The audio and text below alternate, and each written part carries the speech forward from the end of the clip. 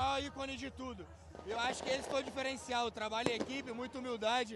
É, a gente trabalhou muito durante o ano, desde janeiro, né? Eu passando por muita coisa, por muita desconfiança, e a gente poder fechar esse, esse ciclo de 2022 com esse acesso e possivelmente um título que a gente está muito próximo.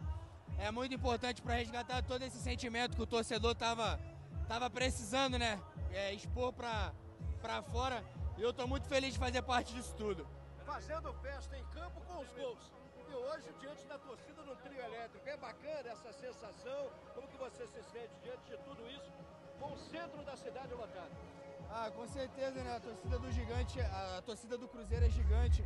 É um clube muito grande que passou alguns anos difíceis, né? De, de, de sofrimento, de tristeza, de não conseguir os objetivos que, que, que queria na, na temporada. E esse ano a gente chegou com uma missão muito complicada. Quem acompanha o trabalho desde o início sabe que a desconfiança era muito grande. Mas a gente trabalhou muito, a comissão, o staff, os jogadores, diretoria, foi um trabalho bem árduo.